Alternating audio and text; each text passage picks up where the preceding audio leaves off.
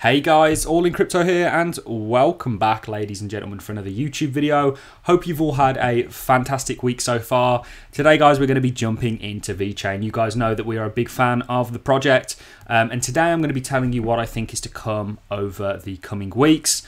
Uh, and ultimately, guys, I'm anticipating a bit of a sell off for the market. Those of you that have um, uh, watched my Cardano video that I released earlier will know that. Now, I'm not anticipating anything crazy. I just think that we need a little bit of uh, a kind of pullback to set up more continuation structure um, and, and, continue on in this bull run. I don't think we're going into a bear market. I don't think this, the sell off is going to be of any kind of severity like what we've just seen. I just think we are um, on track, in my opinion, for a little bit more downside before we set up for more continuation. I'm going to share with you why that is in this video.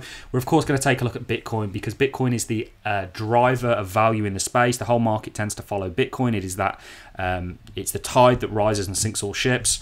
And of course, VeChain is going to get affected by that. But VeChain is actually looking uh, pretty good in comparison with some altcoins. I think other altcoins out there are going to sell off a little bit more significantly. But I think VeChain is actually showing a little bit of strength. And in actual fact, um, you know, he's looking pretty good. So we're going to get into it in this video. Before I start, guys, I just want to remind you of, of why I love VeChain so much. And that's because they're one of the most used cryptocurrencies out there. They're very friendly with the Chinese government, which is a huge competitive advantage. Uh, this is a, I, I follow their Twitter religiously.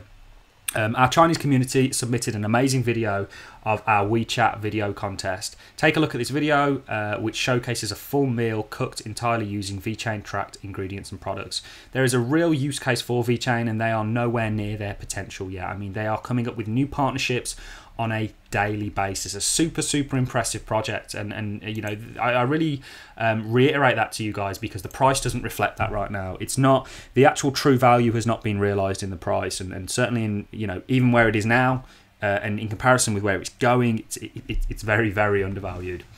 So let's talk about why I think there's going to be a sell-off, guys. It's a lot of what I uh, have already kind of reiterated in the Cardano video.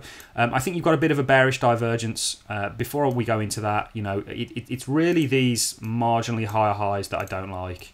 Um, you know, I can show you plenty of examples like this one, for example, uh, is perfect. This kind of Wyckoff distribution that people are calling for, where you have your marginally higher highs. Now, I don't think you're in for Wyckoff distribution right now.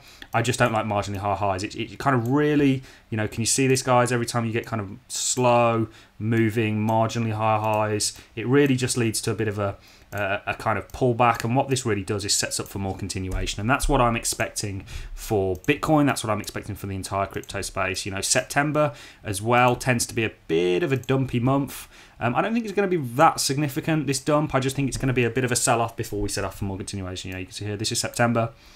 Uh, sorry if I'm talking fast, guys. I'm just trying to get through this. These are all September. Uh, September.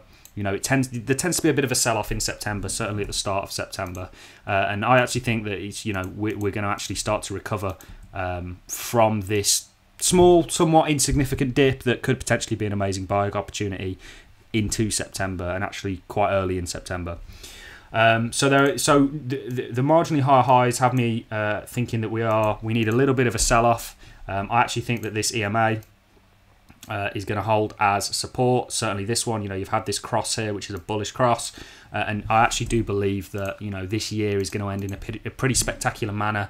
Um, much the same as uh, 2017 did, and prior to that, 2013. We know it's the kind of end of the bull run where we see things go parabolic, and I, am anticipating this for VeChain. I just think that it is in for perhaps um, it, it, it's going to get dragged around with Bitcoin. Um, and I want to take you to our Elliott wave theory, which we bring up on every single video. If you don't already use TradingView, guys, lots of people ask me where I get these charts from. Go to tradingview.com. Um, essentially, uh, you know, it, it's very cheap to actually purchase a trading view. You can use the charts for free. Um, and, and you know come and map these things out for yourself and take a look and see if you're seeing a similar thing to what I'm seeing. So I've stressed to you guys that I believe you are here you know, I think you're on your fifth and final wave, and right now you're just really at the start of it. Um, and ultimately, uh, you're doing the exact same thing that you do in these waves. Uh, can you see? You know, if you look, we, we spoke uh, in couple of videos back about how VeChain is just lagging behind the market, which is a typical trait. Uh, you know, you have other coins that are at their all-time highs. VeChain doesn't tend to do that until the kind of next run up. Um, and this is where you are, guys. This is your first wave. Can you see this? You sell off. This is where I think you are now, guys. You're in that kind of not sell off period, but the kind of rounding out your cup and handle. You're you're really in your cup before you set up for continuation. This was your uh, three wave here. Can you see this? This is where I think you are, ladies and gentlemen, today. And I think you're going to um, very much use this uh, EMA on the uh, weekly support. I think you're very close to forming this bullish cross, which is really going to see. If you look the last time we did it, it saw this big run up and, and the kind of um, the the bulk of the wave take place. And you guys know we've got price targets right up at sort of one dollars to one dollar fifty, and I actually think you're going to get there. You know, I'm really anticipating a very very uh, parabolic run towards the end of the year, um, and ultimately. You know, VeChain, uh, and it, it does the same thing, guys. Can you see here? If we go back to um, this period here, which is around about the 14th of December. You can see this bullish cross here, guys. Let's go to the 14th of December. Where are we? Where are we? Can you see you did the same thing here? After this sell-off, you form this cross,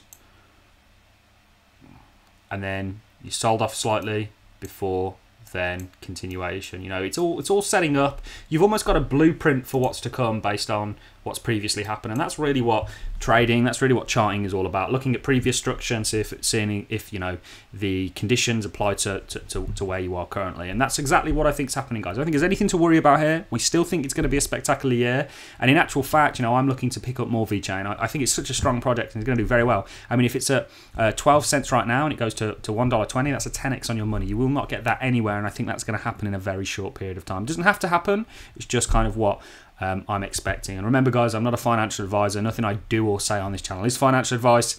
We're just here um, essentially sharing with you our thoughts and ideas, and, and, uh, hopefully, you guys find some entertainment out of that.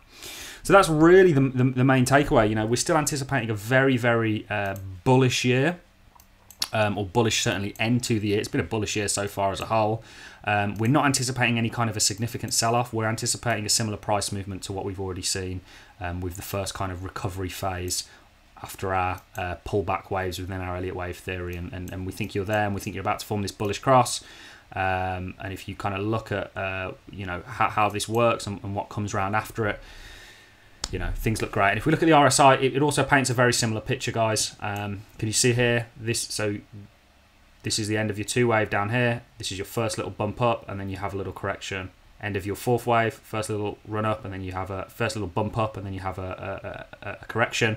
This one is slightly higher because we know the three waves in Elliott wave theories are typically the uh, biggest. Um, so this one will be a little bit lower, much the same as your one waves are typically the smallest, and this one's lower than um, than this one here. So I hope you guys can see what I hope I'm painting a picture here uh, of, of what I think is coming. You know, you, you, are setting up this sort of structure. Uh, it looks the same on the charts, it looks the same on a number of different avenues, it looks the same in the volume profiles before then setting up for more continuation and, and, and, and you know, really completing that fifth and, and potentially final wave of this bull run. So you've got nothing to worry about, guys. Could present a potential, uh, a really good buying opportunity potentially.